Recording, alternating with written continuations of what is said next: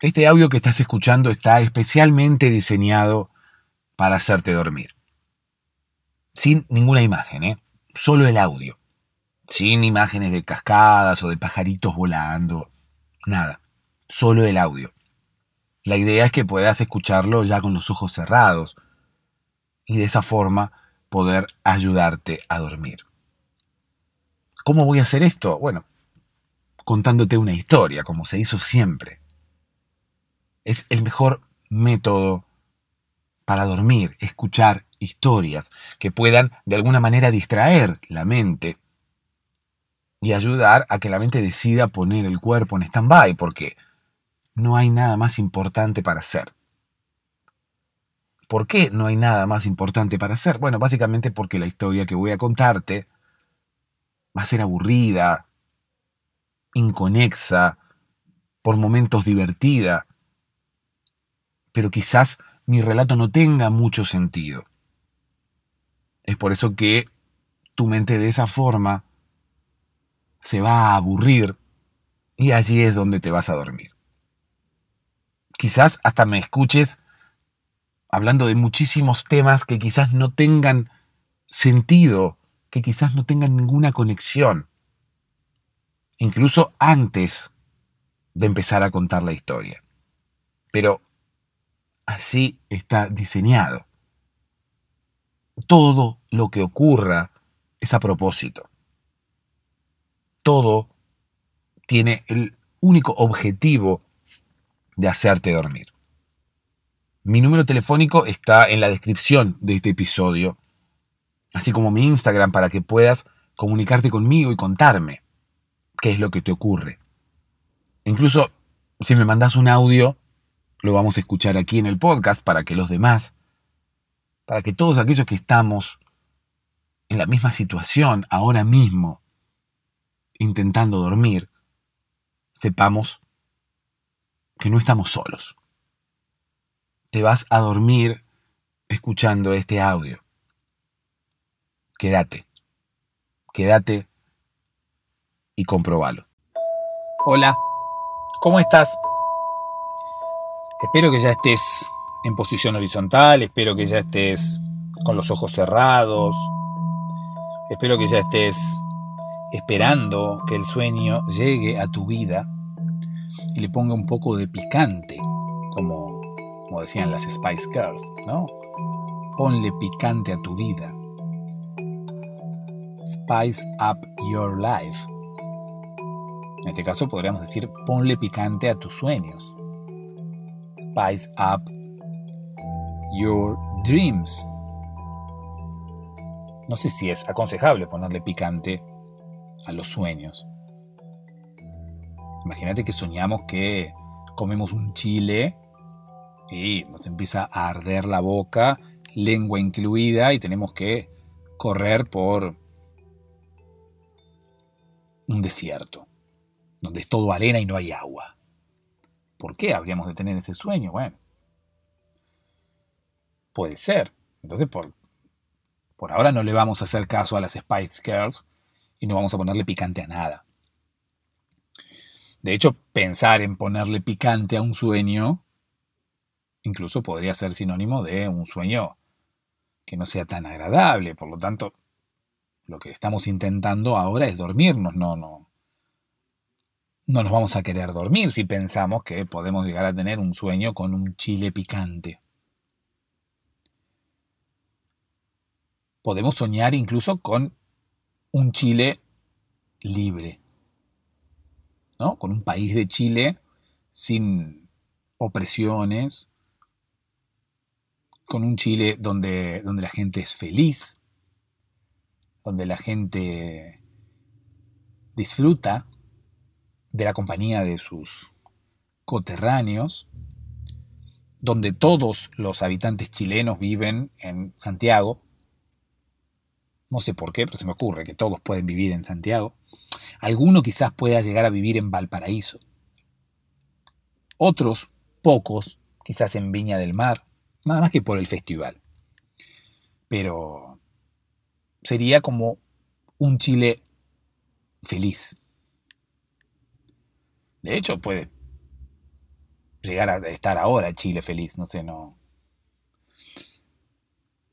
Desconozco el estado de felicidad de Chile, el termómetro de felicidad de Chile, realmente lo googleé pero no lo pude encontrar.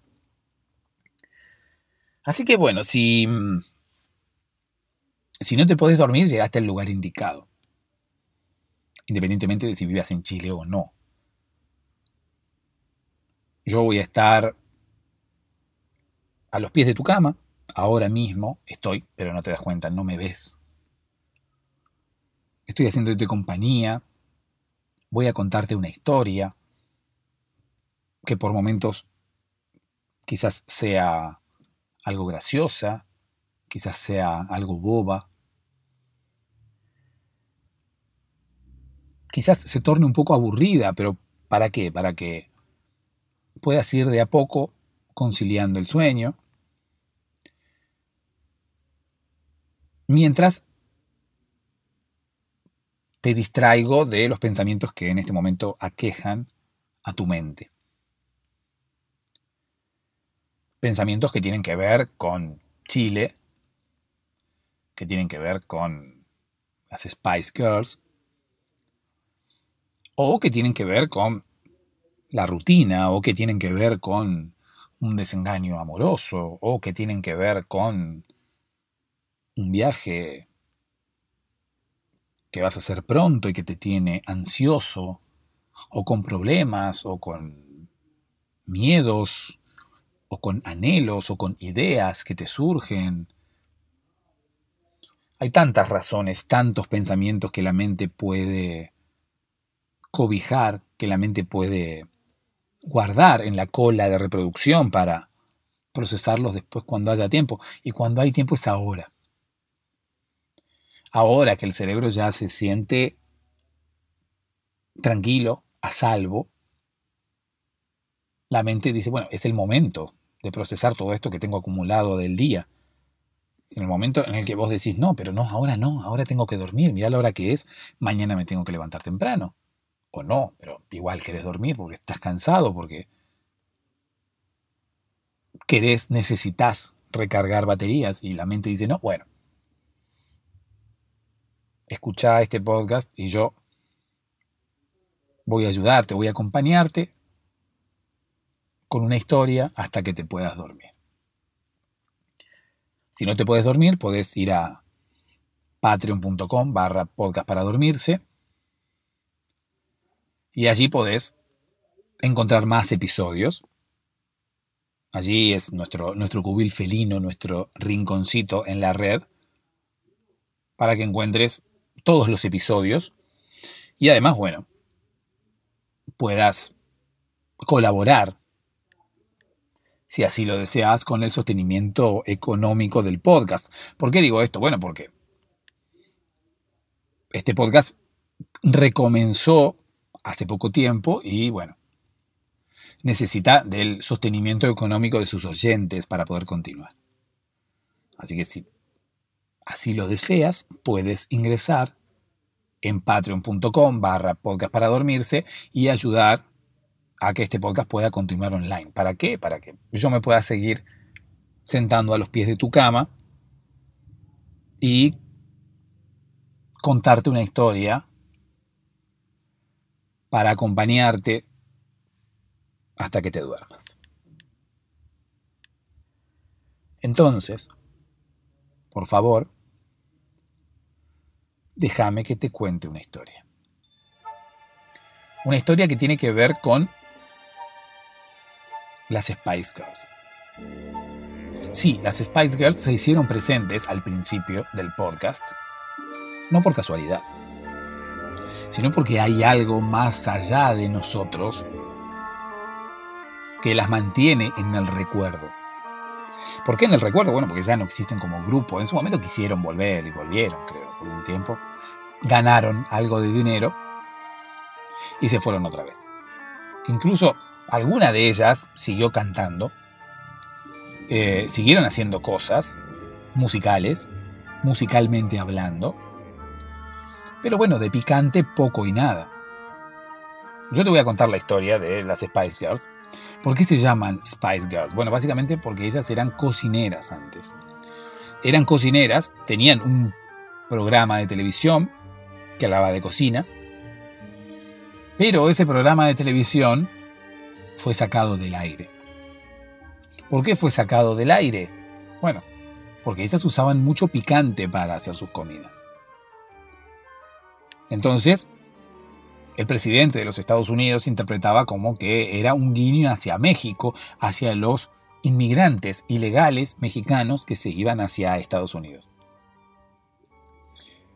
La comida picante suele comerse mucho en México, a pesar de que uno de los ingredientes, el chile, nos remonte a Chile. ¿No? ¿A dónde nos va a remontar Chile si no nos remonta a Chile? Cual cometa, cual barrilete somos remontados. ¿No? ¿Por qué decimos nos remonta? Porque somos algo que... ¿Qué es remontar? Para mí remontar es como cuando uno remonta un barrilete, una cometa. Le suelta el hilo y con el viento, el, elemento en cuestión, en este caso la cometa, vuela, ¿no? libre, bueno, atada de alguna manera con el hilo, pero se mueve libremente por el aire, ¿no? por el cielo, por decirlo de alguna manera. Si es que el barrilete llega hasta el cielo. De hecho, no llega hasta el cielo. De hecho, ¿dónde está el cielo? No, no. El cielo está arriba, sí, pero bueno, el cielo no es algo que nosotros podamos tocar. De hecho, si subimos, subimos, subimos, no, no, nunca llegamos a tocar el cielo. El único que pudo llegar a tocar el cielo es eh, Truman, ¿no?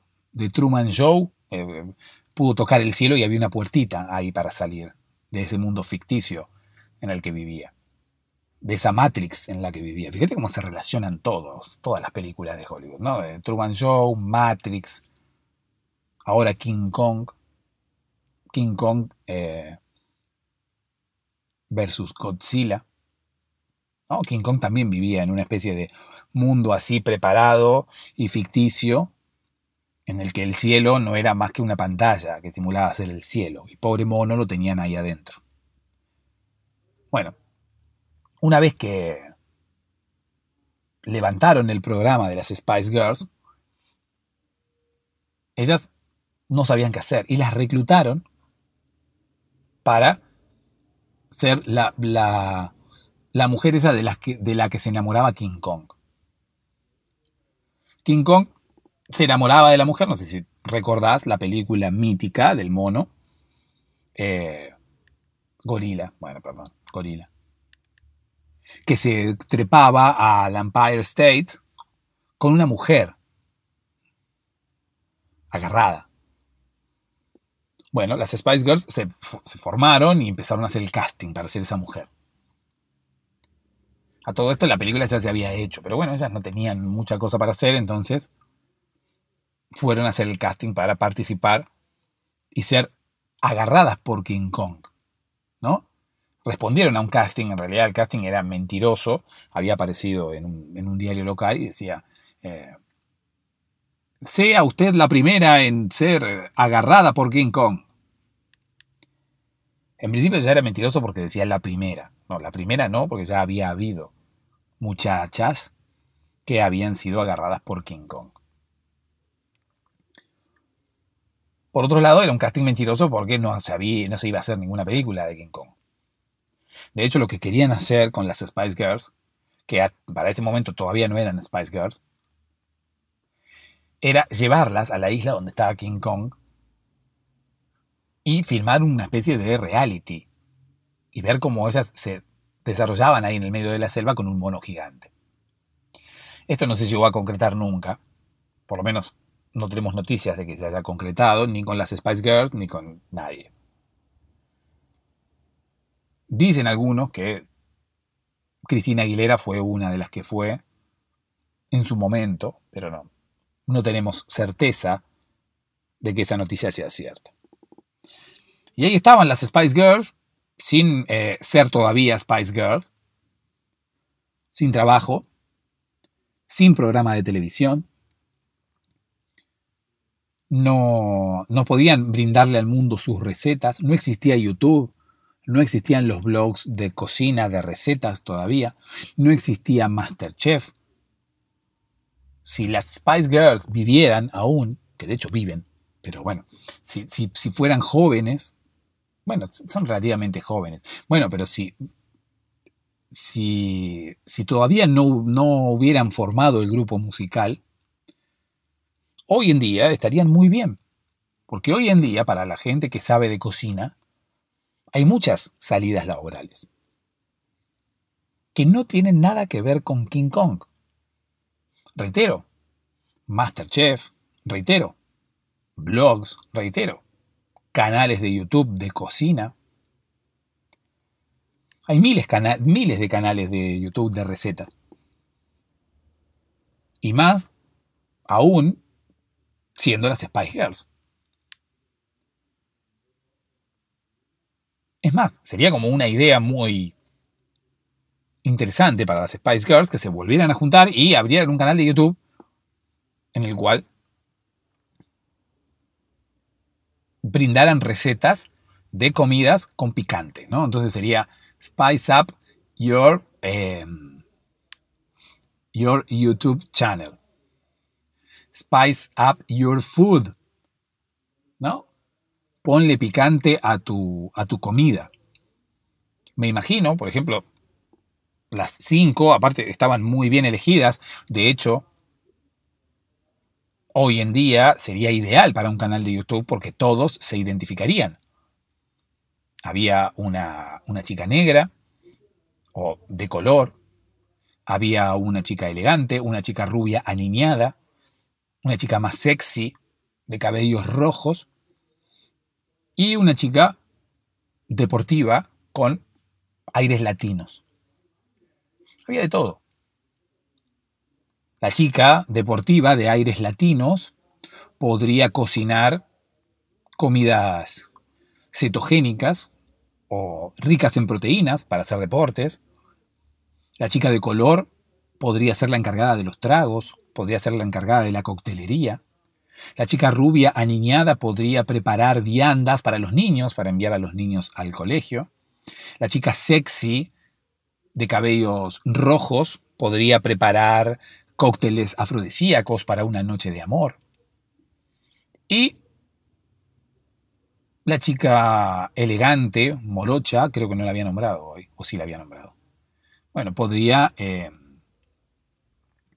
nada, no hacer nada. Podría dirigir el canal. ¿No? No sé si sabe cocinar. O podría ser, sí, platos gourmet, ¿no? Platos así, tipo de restaurante. Sería muy interesante un canal de YouTube con las Spice Girls. Bueno, resulta que las Spice Girls, después del, de lo fallido del, del, proyecto King Kong, decidieron eh, dedicarse a la música y bueno, todo lo demás ya es historia.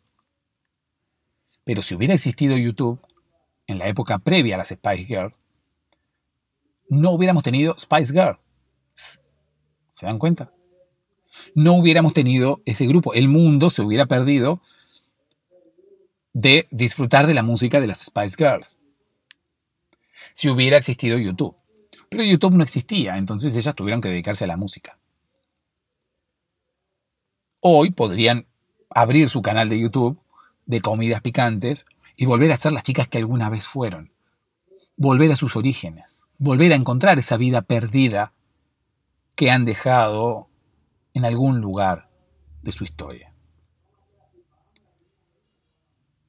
La moraleja de hoy es, o podría ser, porque nunca sé cuál es, la moraleja de hoy podría ser, cuidado con cuánto picante le pones a tu vida, porque quizás puedes encontrarte formando una banda musical, un grupo musical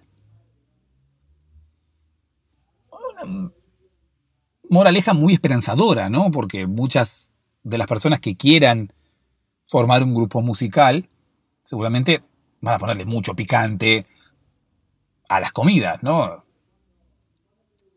Pensando en que les puede ocurrir esto, pensando en que pueden llegar a formar un grupo realmente dependiendo del picante que le pongan a sus comidas.